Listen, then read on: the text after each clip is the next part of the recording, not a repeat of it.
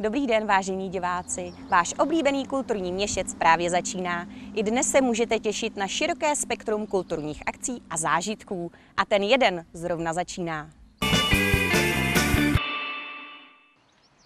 V letohrádku Ostrov v měsíci dubnu byla k vidění malá výstava, která se opírala o společné téma hudba a výtvarné dílo.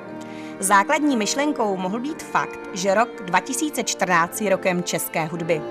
Tato výstava byla výsledkem společného projektu Letohrádku Ostrov a výtvarného oboru základní umělecké školy v Ostrově. V zimních měsících žáci ZUŠ pracovali v dětském ateliéru Ostrovského letohrádku a pod vedením svých pedagogů Hany Vaculíkové a Lukáše Lercha společně s kurátorkami galerie Zdeňkou Bílkovou a Boženou Vachudovou hledali souvislosti mezi uměním hudebním a výtvarným. Výsledek, zda všichni, kteří se na tomto projektu podíleli, svoji souvislost našli, jsme se zašli s kamerou podívat i my. Pravda je ale taková, že účast na vernisáži byla přímo obrovská a my jsme museli uznat, že natočit záběry, které by za něco stály, doopravdy nelze, což znamenalo vrátit se do letohrádku ještě jednou. A stálo to za to.